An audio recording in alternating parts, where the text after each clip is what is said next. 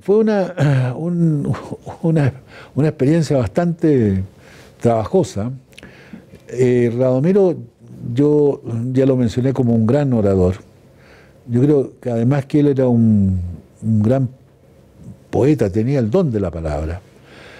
Eh, segundo, él era un verdadero profeta, porque visualizaba los fenómenos políticos que se iban a producir. Durante la, la, eh, época del, tema con, cuando ya estábamos en, la administración de, Allende, o antes incluso, cuando estábamos en el desarrollo de la, campaña de Radomiro, él eh, acuñó un concepto que no era una frase, sino que un concepto porque renunció incluso a la postulación. Eh, durante 15 días no tuvimos candidato, porque él dijo, sin unidad del pueblo no habrá candidatura Tomic. ¿Qué significaba eso? Sin la concertación de partidos por la democracia no habría candidatura Tomic. ¿Por qué? Porque veía que la regla de oro de la democracia nosotros no la practicábamos. Seguíamos siempre con, la idea de, los, de, las, de las fórmulas excluyentes y no, no buscábamos, ¿no es cierto?, llegar hasta el 50% del esfuerzo que hizo Frei, Frei Montalva, don Eduardo, por eh, agrupar a los radicales fracasó.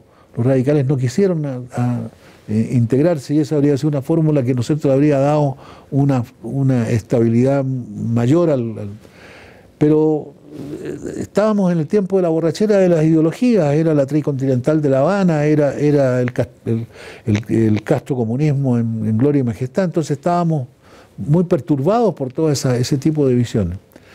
Eh, eh, el Radomiro tenía esa visión, Radomiro sí era muy, eh, era, era, muy difícil ser asesor de él e influir sobre él porque él tenía una personalidad demasiado fuerte. Entonces él se iba, diseñábamos alguna materia, pero él se nos iba por fuera, qué sé yo, era, era muy, muy difícil. Nuestro criterio, digo nuestro criterio porque yo hice esa campaña con Sergio Saavedra, con Claudio Rego, con Lucho Mayra, que no, Mayra no, este, con Pedro Felipe Ramírez, en fin. Este, la idea, el propio Patricio Elwin no teníamos una asesoría, digamos, de, parlamentarios. Nosotros este, siempre pensábamos que la fórmula que tenía, tenía que hacerse era marcar eh, eh, que este sería un avance en un gobierno como el que había hecho Frey.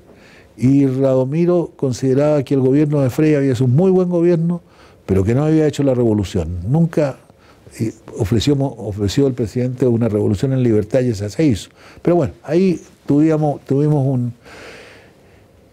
Creo que nuestra posición fue demasiado eh, eh, de izquierda y cuando se quería elegir entre izquierda, uno, yo supongo que el elector pensaba que más claro de izquierda era el presidente Salvador Allende que Radomiro y entonces, no obstante, sacamos una, buena votación, no fuimos un partido que se desarticulara y creo que sí hay que rescatar las calidades que he mencionado de Radomiro y su profunda honestidad. Era, era un hombre, pero realmente espectacular.